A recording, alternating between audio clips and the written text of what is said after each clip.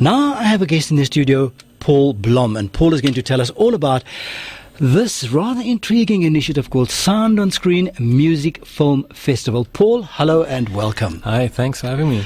Um, do you know, I think this is an interview that I would have liked to have spent an hour with you, we can't because there's so there's much a lot. that's going on there. So what are we going to do is we're going to be doing sound bites, nuts and bolts, nuts and bolts to get everything through because there's Yeah. such a lot of information. so let's first tell us a bit about the festival. And I see it's, it's in its 13th year, so you guys must be doing something right. Yeah, well, uh, we're persistent, so that, that's probably the main thing. Um, yeah, no, we, we started in, in 2010. Uh, we run other film festivals as well, like the like the Horror Fest over Halloween time. Um, and it's just you know there was we just saw a gap. There was no one doing a festival, uh, a film festival dedicated to music. And we love music, and we love movies and documentaries, so it just made sense. So, so um, what's the format? How do you how do you present it then? Well, I mean, we we used to have it mainly at the Labia Theatre. That was before the pandemic, um, and then we started expanding uh, to doing a, an online festival as well. For all our festivals, have an online component, but this year the, we just haven't been able to get slots at the Labia Theatre. So this year it is strictly streaming at Quicket, so people can access it anywhere in South Africa. You don't have to be in Cape Town to, to enjoy the festival this time around. So we've got over 50 movies, feature, uh, feature films, documentary short films, yeah, streaming. Now that's what I said. I'd, I'd like to go through every single movie, but Yeah. we don't. So, could you do me then a favor and break it up into the genres and the categories? So, what genres do you have and categories? Absolutely everything. We've got from from pop and rock and heavy metal and punk to classical, experimental. It's reggae. There's absolutely everything. Um, for the well, specifically for fine music, um, the classical stuff. There's quite a few interesting titles there. We've got um, um, classics in Brazilian choro. It's a interesting movie on these uh, kind of legendary Brazilian musicians adapting classical music into that It sounds wonderful already. Sounds style. wonderful already. yeah, and we're actually uh, pairing that up with a short film called Muse Art. It's about a violin player who lost play music, so he started painting. But then his paintings are uh, almost exclusively dedicated to painting musical instruments, and especially the violin, which he loves so much, which he can't really Can't- play. So he- ends up painting it. So it's a very, very interesting little little documentary like that. Um, we also have uh, we paired two movies together, um, dedicated to teaching music, including classical music. Um, the one is called Unseen. It's a Russian short. It's about four students. Um, one is a opera singer, one is a violin player, one plays um, accordion, and just how they how they make their way through through school and wanting to become musicians. Um, and then the second one is called Chameleons, which is an Austrian documentary looking at um, just teaching teaching music to young people. And I'm fascinated with the, the the format. Fascinates me still, and that it's been going for 13 years. So, um, and you've got 50 movies. So people see a movie, and is there then a discussion on the music because the emphasis obviously is music. Yeah, it, it, it varies. Some of it is um, like we have a, a musical from Ukraine.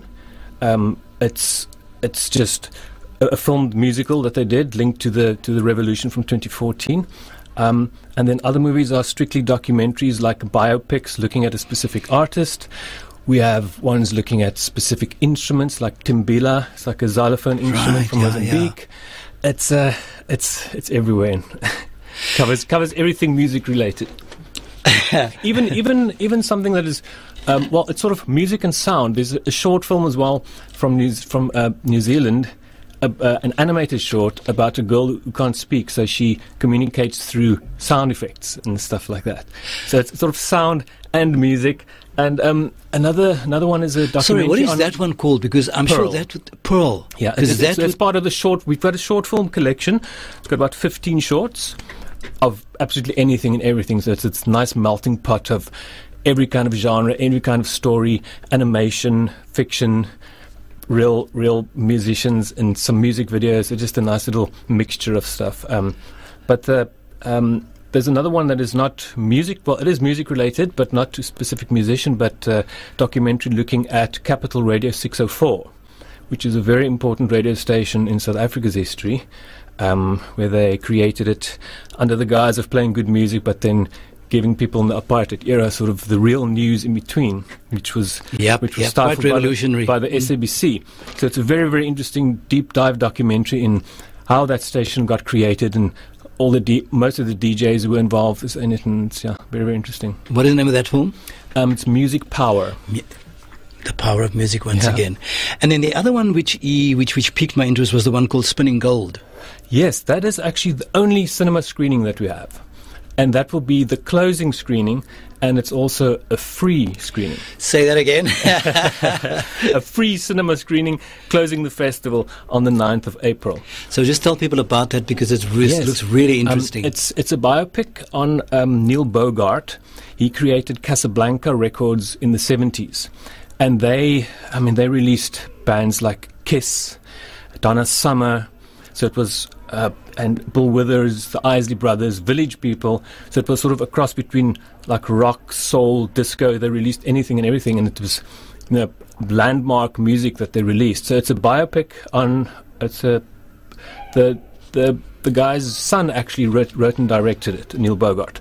Um, and it looks at his dad's life and how he created this label and obviously in the 70s there are lots of lots of ups and downs that went with it 70s were an era. Gosh. so yeah so um, we, we, we managed to get this as a as a free screening it releases a week later so it's a pre-release screening and people can get free tickets so if they check out our website it's flamedrop.com slash sos or at the at the quicket at the quicket page there'll be details on how they can get tickets And the other thing which I, when I went through all the notes that you sent me, thank you for that. I wish more people who do interviews would send me so much. I always think it's good. too much. no, it's great to have so much notes. So one goes. So, and how many? Which countries are sort of featured? Which production countries are featured? Oh, USA, UK, Brazil, South Africa, Norway, Switzerland, um, absolutely every part of the world, Malaysia, Australia. Estonia, also to Cyprus, Switzerland. So you, so there's, there's something covered. for everybody, Yes. literally, in, Yeah. on this on this planet. So, Paul, if one wanted to now actually uh, book Howard, where would one get a, a, a catalog or what? Doing They that. can go to Quicket. They can search for sound on screen at Quicket. okay. or because um, that's also where it's it's streaming at Quicket, So you get the tickets, and um, you can get individual tickets, and then for a, a ridiculous full festival pass of just 175 rand. I saw that. I couldn't believe it. the whole One seventy five for the whole festival. Yeah, um, the reasoning. I mean, we don't want to overprice it, and you know, people have so many streaming services Yeah, already yeah, yeah. that they think, you know, I'm paying this this month. I'm not going to pay kind, kind of the price of a of my streaming service I'm paying for this month. Um, so we just thought, let's just make it affordable that people can't really have an excuse to say that it's too expensive for starters. But also, all of these movies, abs- almost absolutely every single one of these movies is you won't find it anywhere on any streaming platform, in any cinema, in because I mean they're all brand new.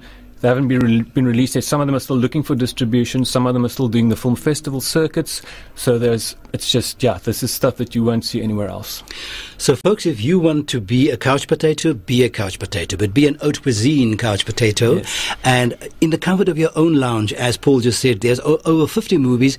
And I'm just going to repeat the countries from United States, United Kingdom, South Africa, Ukraine, Spain, Norway, Austria, the Russian Federation, Germany, Chile, New Zealand, Turkey, Mozambique, Canada, Syrian Arab Republic, France, Estonia, Malaysia, Brazil, Israel, Australia, Portugal, Cyprus, and Switzerland. You can visit all these countries filmically in the comfort of your own lounge.